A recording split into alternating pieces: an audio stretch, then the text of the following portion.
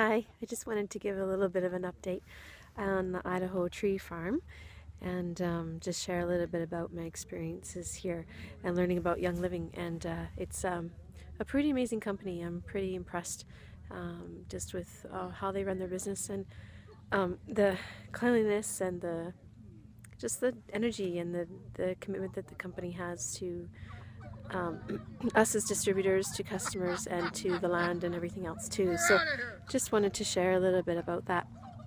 And uh, I'm just standing in the field right now. I'm about to be chased by a turkey, a wild turkey, but I'll see if I can give you a little bit of a, uh, a little, just uh, the field that I'm in right now is um, on the Idaho Blue Spruce. I don't know if you can see. So these ones are just little guys. Have been planted a couple years ago. Um, Oh, there's the turkey coming out to visit.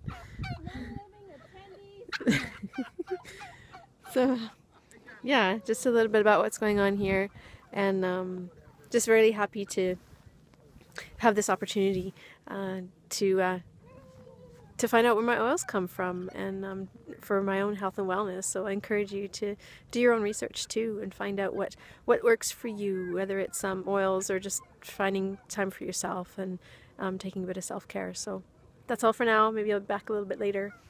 Have a good day.